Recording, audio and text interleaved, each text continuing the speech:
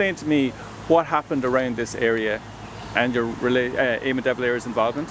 Well, I, first of all, I think you have to look at the way the rising was planned. And despite maybe modern theories to the contrary, the rising was planned with quite a logical plan in place. And the idea was that the battalions on this side were to protect the city from attack from the south and from the west. So you had the 3rd Battalion here, you had the 4th Battalion next to them and so on. And if you actually think of the displacement, you had Boland's Mills protecting the canal here.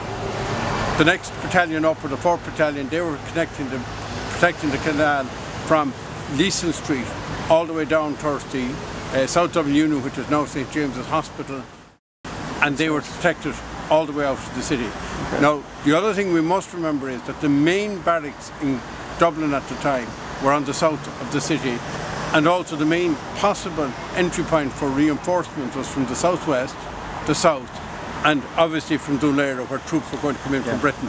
They couldn't bring the troops direct into Dublin because the doctors weren't willing to land the ships. So there was a problem there for the British and the obvious place to come in was into Kingstown which was very loyal to the British at the time. So the attack was expected in this direction. Now of course all of the battalions here were severely short of troops. Mm. So you have to understand the plan was much better than the reality. But that said, uh, when we look at the collapse of the Rising, uh, yeah. none of these battalions actually uh, were defeated. They all voluntarily surrendered. That includes Jacobs, South Dublin Union, and Boland's Mills, of course, which was the last to surrender. The only one that surrendered because they were military defeated was uh, the GPO.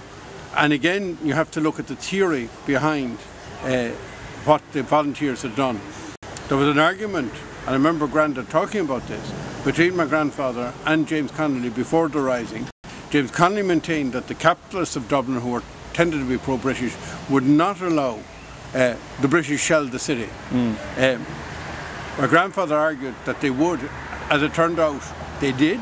Uh, reality was that they actually got burnt out of the GPO. They didn't get shot out of the GPO, they got burnt out of the GPO, and that was following the shelling and the fact that O'Connell Street went up in a blaze and eventually the GPO caught fire. They had to surrender because they were totally surrounded and they couldn't stay where they were because the buildings were burning. Okay. Uh, on the other hand, militarily, the rest of the garrisons were never defeated and surrendered voluntarily at the end of the rising. So the plan was not as, you know, you know self-sacrifice yeah. as people think.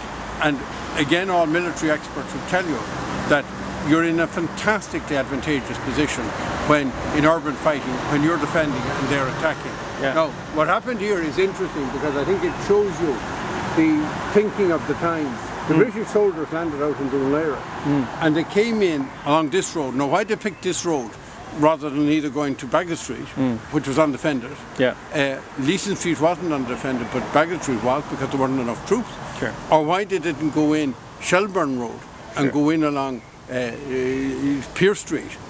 God only knows. Okay. Or why they weren't brought in by train along the railway line, which was also expected. Okay. I, I don't have the explanation for that. But they came along the road here.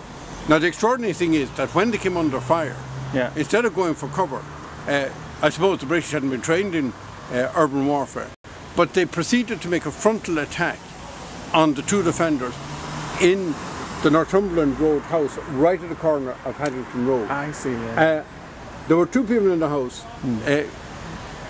Lieutenant Malone, Michael Malone, had been given, and his own family have told me this, is uh, grandnephew came in to see me recently, that he said that my grandfather, when he sent the detachment up here, gave him his mortar, Mauser automatic pistol. Mm. And he said, this is the best gun I have. And it proved very, very effective. And then Grace, who was with him, he also had the Lee Enfield rifle, which nowadays would be seen as a very old-fashioned gun. You pull the bolt and you, but at least you could put a number of bullets in it at a go and just keep reloading the British troops would have used that a lot more at the Lee Enfield, I think, at oh, the time. They would have well. had that as standard issue.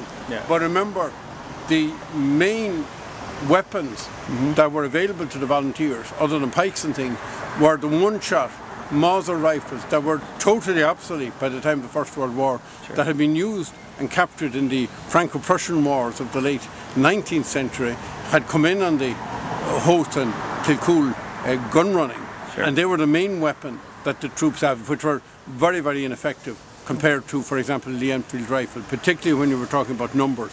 Uh, there was huge damage inflicted down there. Um, eventually, the house was overpowered and the British were absolutely astounded that they found one body inside, that was Lieutenant Malone, and Grace had escaped out the back and over the wall. Uh, and it's extraordinary to think that anybody survived that particular attack on the house. They then came up here, and of course, the whole object of the exercise was to defend the canal because uh, you know nowadays you put a Bailey bridge across wherever you want, but the British soldiers coming in had no equipment.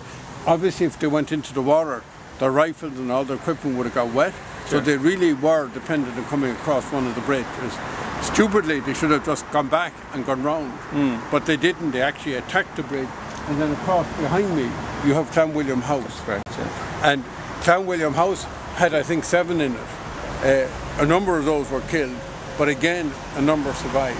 Sure. Uh, and they put up an incredible battle, battle until the house got literally burnt out and they had to evacuate. So that's how the Battle of Mount Bridge happened.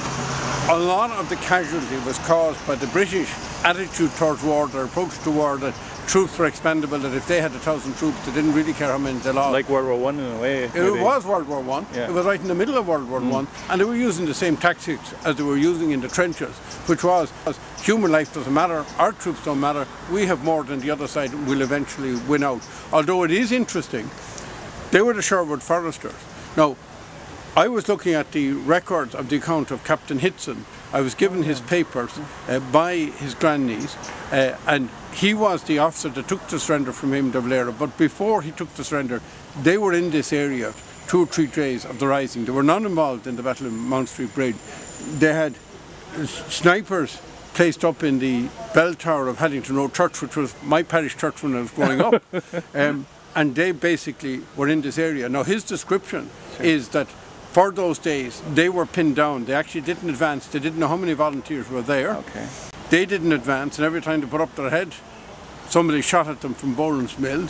Uh, so they were kind of in a fixed position. Obviously, the garrison in Boland's Mills' job was to defend the position. They were never going to go out for attack.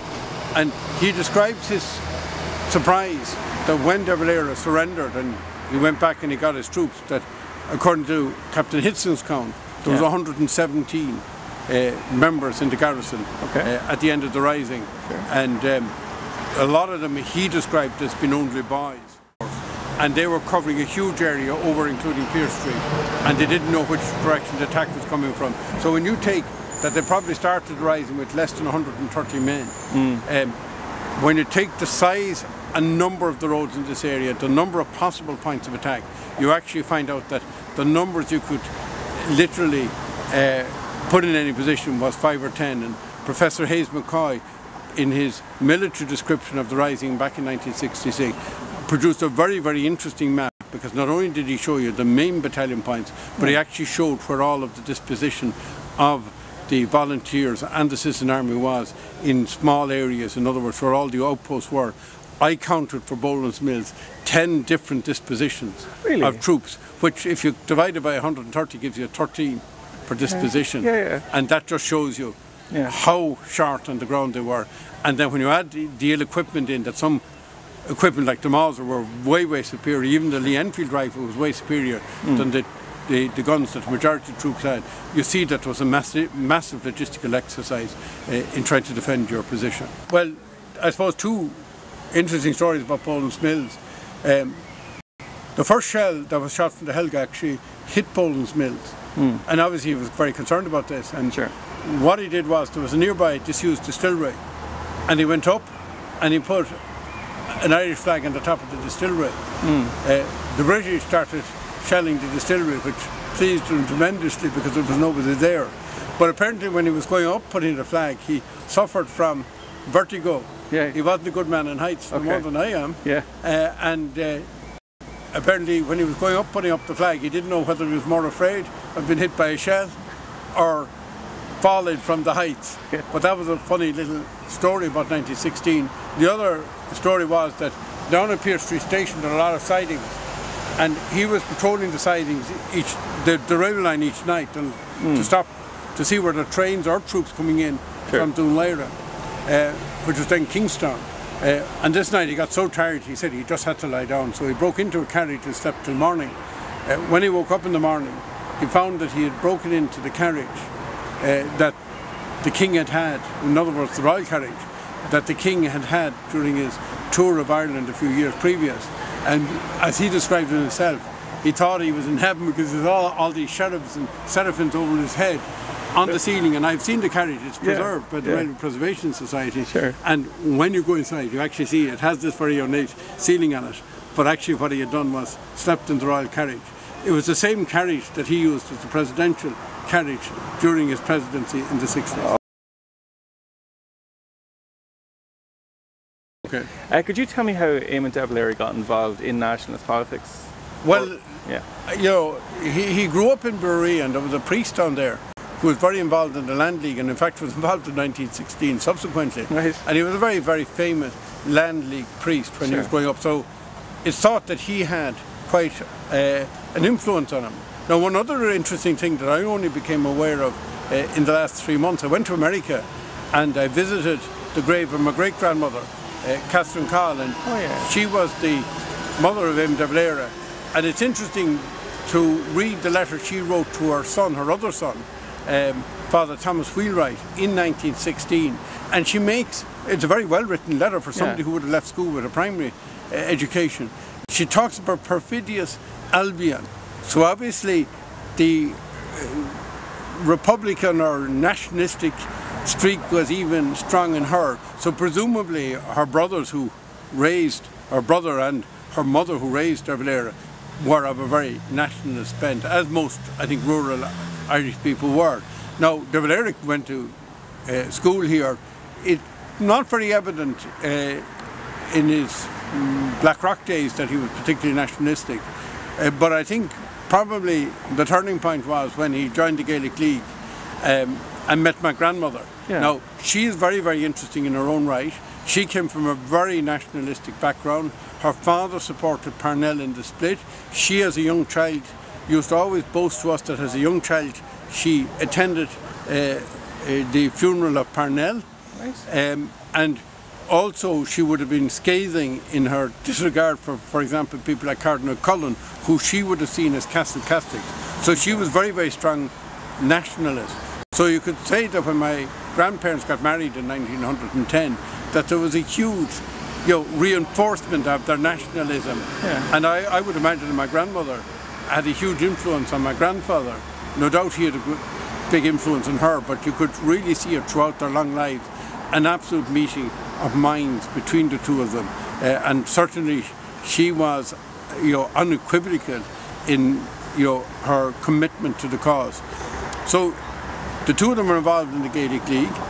When the volunteers were being set up, uh, on the night it was set up in the Rotunda, De Valera joined the volunteers. Now you have to understand, for his time he was a professor of mathematics, he had been a self-made man. He had very little opportunity in life, but he had made his own opportunities. But by that stage he was a professor of mathematics, uh, would have been, you know, natural leader, and he rapidly rose through the ranks of the volunteers till he became a a commandant in the volunteers and was very involved in the funeral and committees for the funeral of uh, uh, O'Donovan Rossa and so on. So you're talking about somebody who, I suppose, his organisational ability showed even in the pre-1916 period. Yeah. Um, and he wound up as the battalion commander here. Now, why here? Well, that's very easily explained. Yeah. Uh, he was living at the time in Morehampton Terrace, which is just off Morehampton Road, at very, very near Marlborough Road and Herbert Park, that junction there. It's a little terrace of houses there. They were living a nice, comfortable lifestyle there. Uh, and that's where they were living. So it was obvious that he was in the volunteers in this, in the Pembroke area here, down as far as Ringsend and the canal. And the story is that before the rising, he came down here with uh, my uncles and my uncle uh, Vivion, and I'm not sure that he didn't bring Auntie Máirín as well. Pretending he was bringing the children for a walk, but he was actually recognising this area Right. for his Yeah. plan. So he had quite a developed plan for defending the area uh, prior to the rising. So that's how he got involved. He was a great man for seeing other solutions. You know, if something didn't go right. I heard it described it, like a mathematician's brain. You can see like if, A doesn't go right, well then here's B, here's C, here's D, just in case something falls down. Well, he would have been very methodical. Uh, An interesting thing that uh, was told to me recently, I, I had heard it and I'd half forgotten it, but uh, I met my cousin Eamon, Nice. uh, another Eamon, we're all Eamons, uh, and we were just talking about the rising, and he said that towards the end of the rising, he gathered all of the men, Yeah. and what they were looking at was evacuating and heading for the hills before the, they would be totally surrounded, because they weren't really under that much pressure, and they could have escaped out here and gone into South Dublin and up the Dublin mountains. Uh, and then he decided against it, but he did actually gather all the men together because in that way uh, I think he would have felt that uh, they could have escaped and continued the fight. Now, I, I heard numerous different versions of the De Valera's escape and execution and reasons for or against. Would you care to share some light on us? Or Well, yes, um, there's no doubt about it that both his mother and my grandmother, in other words, his wife, Sinead de Valera, made some effort to go to the various consulates. He was always absolutely adamant uh, that the reason he escaped execution was that after he was arrested, he was brought out to where the RDS is. Oh, yeah. There was a fire station down there, and he was detained there for two days, and then they marched those troops to Richmond. So when you look at the records, you find that he was one of the last to be tried. Now, as you know, halfway through the executions, or very near the end of the execution, uh, the British uh, Prime Minister Asquith came to Ireland, and an end was put to the executions with two exceptions sure. uh, Connolly and uh, McDermott. McDermott. uh, And all the evidence would seem to bear this out. There was a very good book published about 18 months ago about the trials and all the evidence from the trials. And the British papers themselves would seem to indicate that he was just the lucky guy, that the delay was the crucial matter, not American citizenship. And the historic evidence is that he was incorrect in that. Uh, it is interesting to note that he wasn't so definitive when he was in America because he didn't want to uh, in any way deny the efforts that had been made on his behalf by people in America, but he was utterly convinced. Okay. And the British historical record confirms this, that the reason was the delay in bringing him to Richmond. Sure.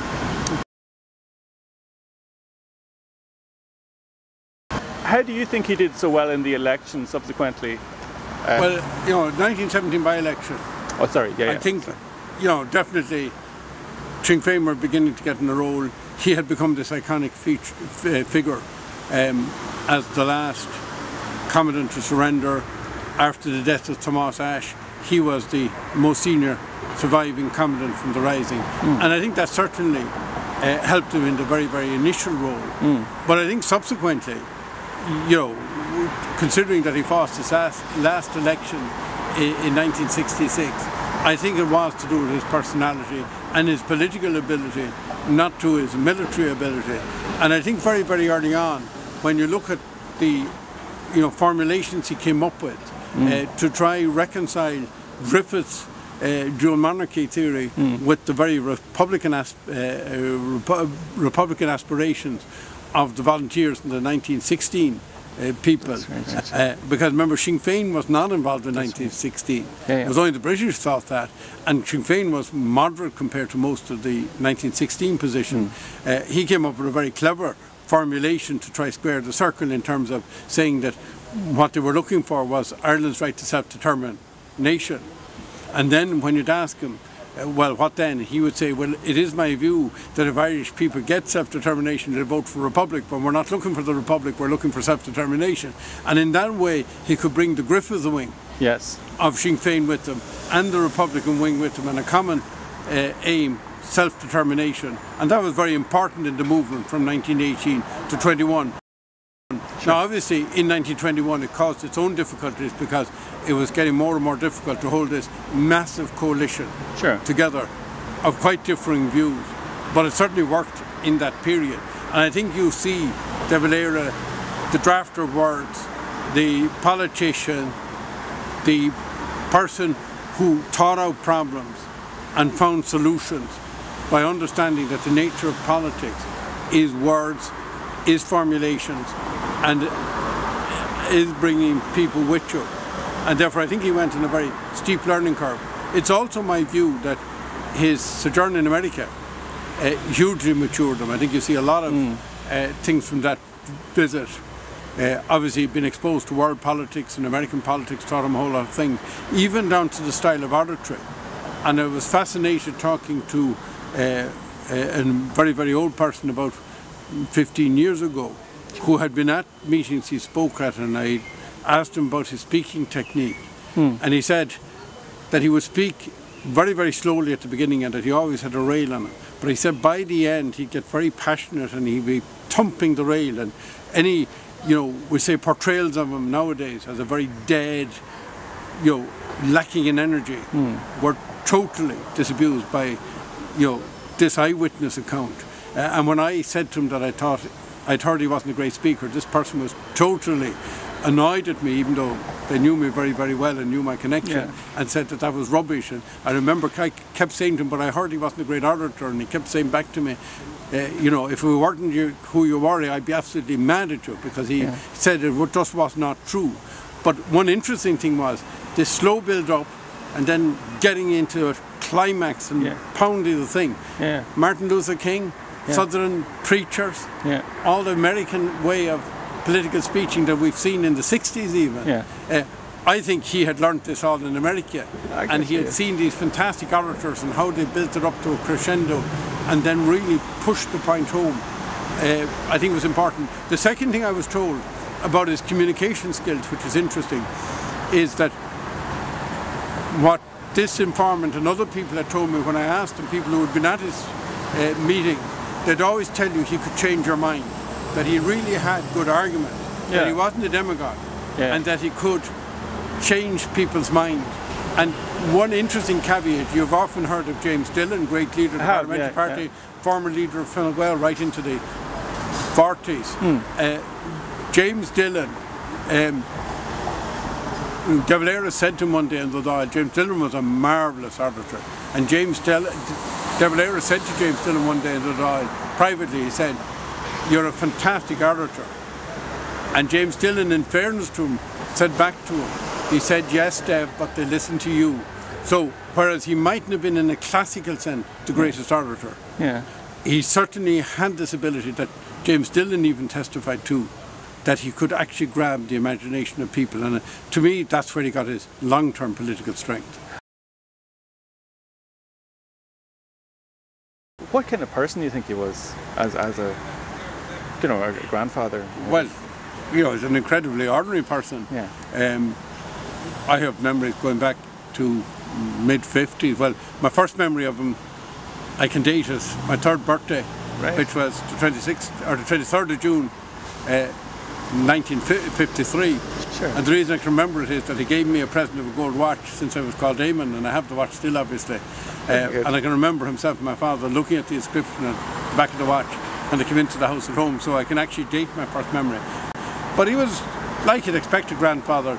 Before he went up to Áras and they were living in Blackrock, we were living in between Ballsbridge and Donnybrook. So he'd be sent in with the messages and he'd call at the house and we loved him. And, Yeah. uh, you know, we treated him as you would treat a grandfather and we'd either race the car to the end of the road where he'd be going or he'd allow us get into the car and there were these pull-out seats in the Right. in the back of the car and you could pull out the seats and we'd sit in the seats and he'd allow us sit in the seats and drive down the road and then we'd open the doors and run home.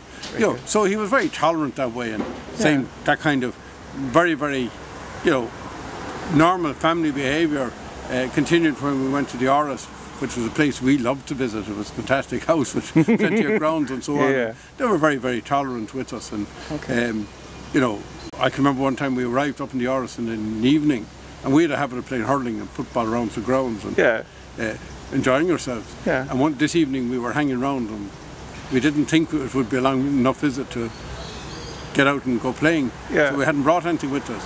Yeah. So he asked why we weren't out playing and we explained to him.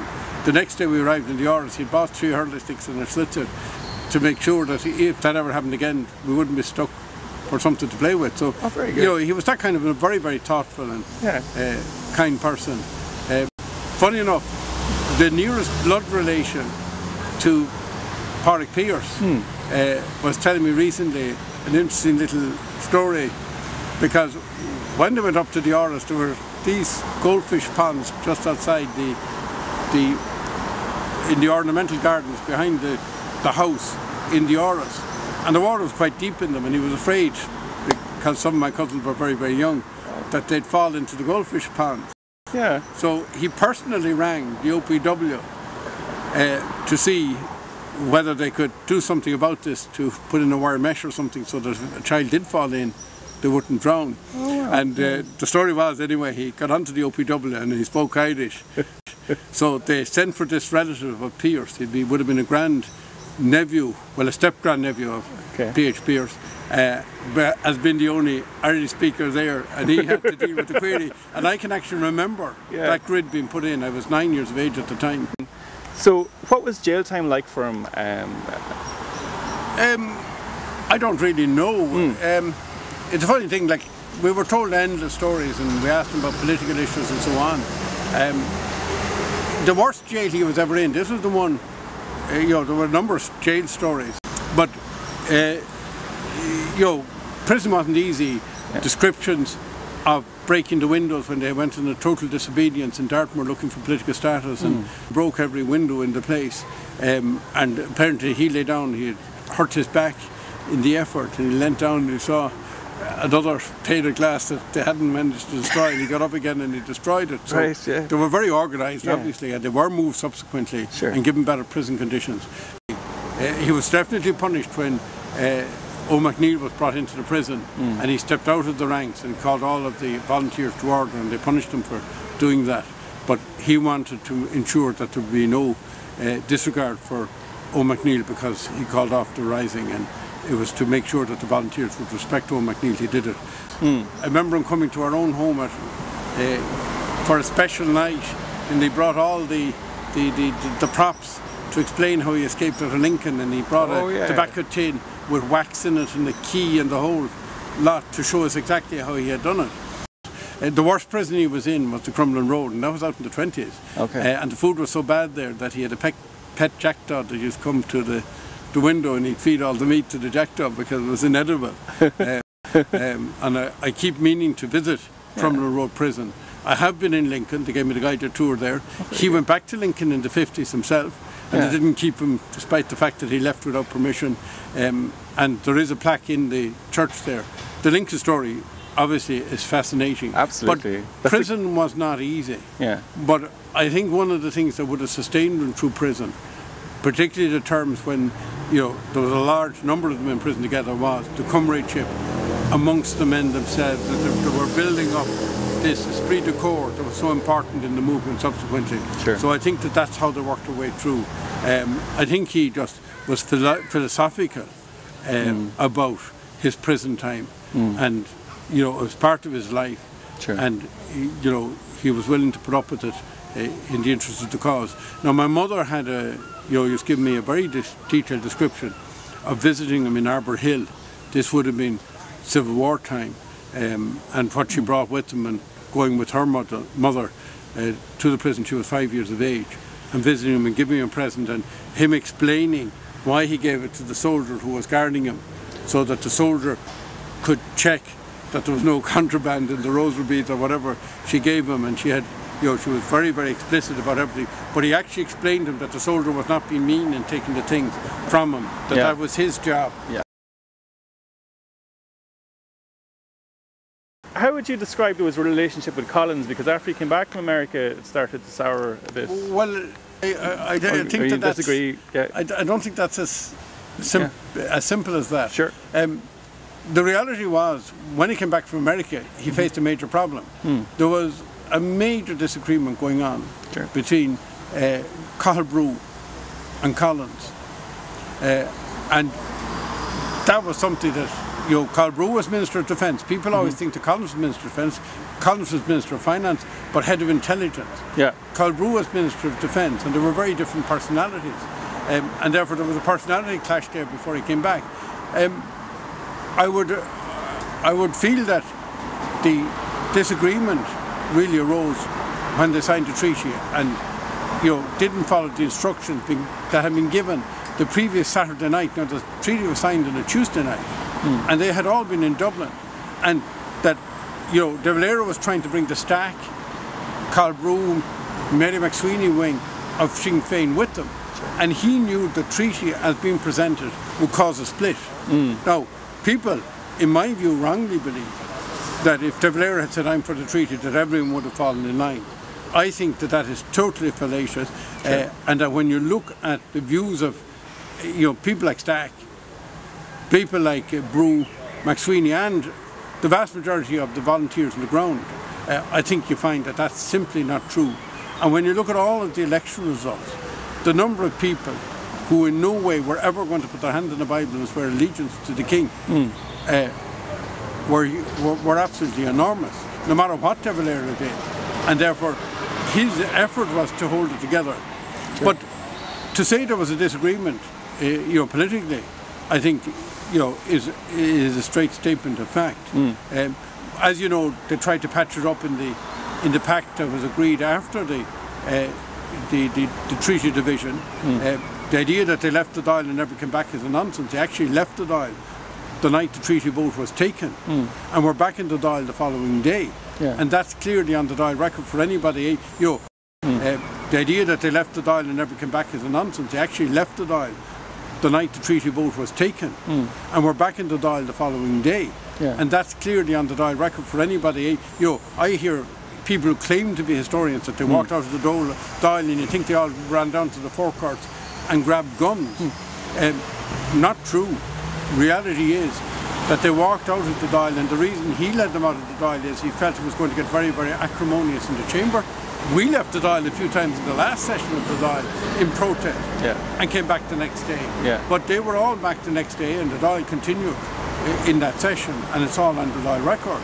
Um, then they had the famous Collins De Valera Pact, where they were forming a Stormont-like uh, executive, where the majority would have been with the pro-Free State, Yeah. the minority were going to be with the anti-Free State Yeah. arrangement, or anti-treaty Yeah. uh, arrangement, uh, and the Department of Defence was going to be given to the army, who were anti-treaty. but it still would have left you with a pro-treaty majority in government, and they had a power-sharing executive agreed.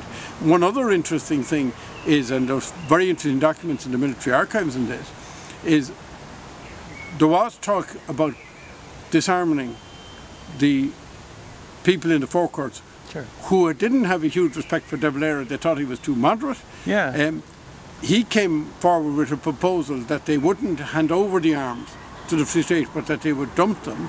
Okay. Remind you of Yeah, yeah, exactly. Yeah. things that happened subsequently Yeah. in Northern Ireland. Yeah. Um, and when the Republicans found out, they said, well, it's just as well you didn't agree because we wouldn't have done it anyway then. Okay. So this idea that there were only two sides, Sure. the two side, you know, division happened the day the Four Courts were shelled. In fact, De Valera had spent that night in Greystones at home, came into Dublin to find the Civil War on, and signed up as a private in the anti-treaty side. But only at that stage did he join the militant anti-treaty people. One interesting thing is that in the 30s, uh, the family Sean Collins uh, played with my mother's family, and my mother's a De Valera, obviously, yeah. in Blackrock, in the family home, and would have been very welcome by both my grandparents in the family home. So Okay. to say that there was you know, a personal bitterness there, I think we're wrong. To say there was a political difference there would be correct. Okay. Okay. Uh, can I just one follow-up question in terms of what you said about the treaty? Um, the argument, though, could also be asked about the being plenipotentiaries. You know that they had the will to make the decision outside of uh, Dev's power. But Well, what do you think about that? Or Well, yes, you can argue that the word plenipotentiary means that. Now, obviously, that's as they were credited to the British. Hmm. But remember, the delegation sure. had themselves agreed, Yeah. which was an internal Irish matter, Sure. that they would not sign anything until they brought it back to the Dáil. Now, look, what basically happened, inexperience against experience. Hmm. And De Valera had stayed at home because he wanted to be available to keep unity at home on one level hmm. and to make the last push. Sure. On the other hand, I think in hindsight, and I think, you know, nobody can argue with this, if he had been there, he wouldn't have been bullied into signing in haste. And I think he would have done things that subsequently happened in our later history, Yeah. including his dealing with the British in the 30s. I think he would have just told them, well, hang on a second, you've got to wait three days, and if you start the war, tough luck, knowing that it would be a very flimsy excuse to start a war because the people who were negotiating with you asked to go back to their own parliament and to their own government to discuss the proposals on hand. But I think the inexperience of the delegation showed up. The only really experienced person in the delegation was the secretary, Sure. Erskine Childers. As you know, he never wavered Yeah. that they shouldn't sign. And he even tried to persuade the delegation not to sign, and he particularly tried to persuade his own cousin Barton, Robert Barton, Oh, yeah, yeah. who was on the delegation, not to sign. Okay. Uh, and he begged him not to sign. And again, the idea of the treaty delegation being a setup is totally put at naught when you realise that De Valera always said to us, Granda always said to us, that the one person who really understood the exact position he was trying to achieve was Erskine Childers, Childers Senior. Sure. And then when you see that he purposely put Barton, who was a cousin of Childers, Yeah. On the delegation, that was because De Valera was convinced that Childers' sway with Barton would ensure that nothing untoward would happen. So there was a fail-safe, but like a lot of things, uh, there are always situations in history that no matter how many fail-safes, things you think you, you've put in place, and I've seen that happen. Uh, it happened to me last week, where we thought we had a cast iron uh, situation put in place, Sure. and it failed because somebody didn't understand fully the instruction, or because they didn't fully carry it out. Do you think history's been fair to De Valera? Well, depends which version of history you look at. Um, some historians have been very fair, some historians have been uh, extremely careless and extremely unfair to him. And I think, uh, you know, you cannot take seriously historians that haven't looked at the basic source documentation and gone to basic sources and, you know, have, for example, you know, taken uh, so-called reports of what people said without number one verifying the circumstance of which they said and exactly what they said. Uh, what do you think the De Valera sees as greatest achievement? Well, I suppose he would have seen that his life work in relation to the 26 counties was incredibly uh, successful in terms of that he did establish in this state an independent, a fully independent state. Sure. Uh, he had been part of the whole movement, like all national movements. There are the messy bits, there are the difficult bits, there are the arguments. That's true of all human uh, processes and anything that thinks that anywhere in the world things move forward in a straight line. I think you know is denying reality. Sure. But when you take where he stood, when he joined the movement, today he joined the Gaelic League, and the Ireland that he lived to see, both socially, economically, but particularly in, uh, politically, uh, when he died, I think you'd have to say they were radically different places. Uh, and when we look at Ireland today, and you compare, for example, the economic and social performance of the South compared to the North, uh, back 1920 we were way behind. Come 2016, we're way ahead.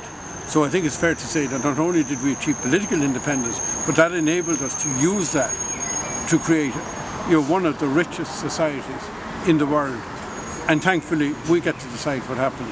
So I think his, his career was a success, but he wasn't working in a vacuum. Yeah. He was working with thousands and thousands of other people who all put in this huge effort, and he would have been the first to say, I'm only one small cog in a big wheel.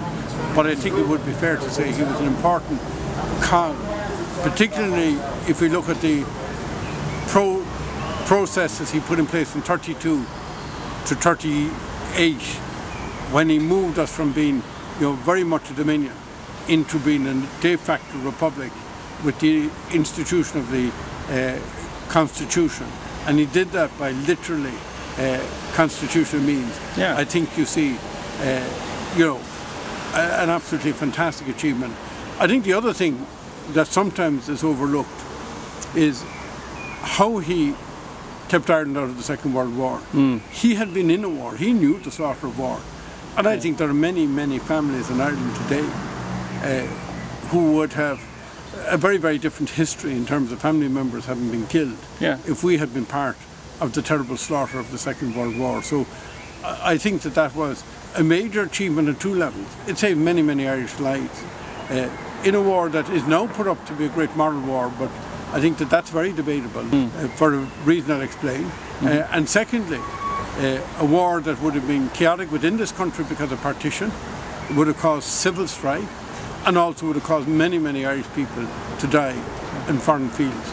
Now, you might say the moral justification for the Second World War is overwhelming. Uh, his argument about it was slightly different. In 1936, when Italy invaded Abyssinia, Ethiopia today, he had wanted the League of Nations to absolutely sit on Italy and sanctioned and even uh, believed there should have been military action taken again on the basis that they were the first country that where a, you know a big country had invaded a much weaker country militarily. And he believed that if we were to have a secure just world small countries had to be defended as much as big countries Yeah. the big powers sat in their hands because Abyssinia meant nothing to them Sure. uh, and i- it was only when their interests were interfered with with the invasion of Poland did the big powers get involved in the Second World War. So it's a little bit simplistic to say that it was a you know a moral crusade. What was not important about the Abyssinians or the Ethiopians? Yeah. The only thing is, like we saw in more recent times in Rwanda, the only thing was that they didn't have any great wealth. They didn't count on the world stage.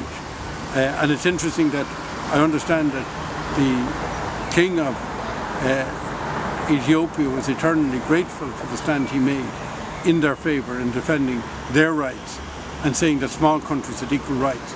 Now he articulated the particular view later on in the 50s when he said that the big countries would start the war and that his First World War experiences would tell him that they would also finish the war on their terms and the peace would be their terms. A- and therefore, uh, you know, I think it's fair to say that, um, you know, he had a justification on his side even on that level. Thoughts about uh, how 1916 should be remembered, if that's okay. Um, my thoughts are that, you know, it uh, is, you know, something we should commemorate because it was a seminal moment in Irish history, and all Irish, mm, modern Irish nationhood and independence has sprung from 1916. The other issue is we're not celebrating a military victory. We're not mili- celebrating militarism. We're celebrating the willingness of people to put their country before their own self-interest um, in an extraordinary way and to make a massive sacrifice so that we could enjoy the fruits of what they would do.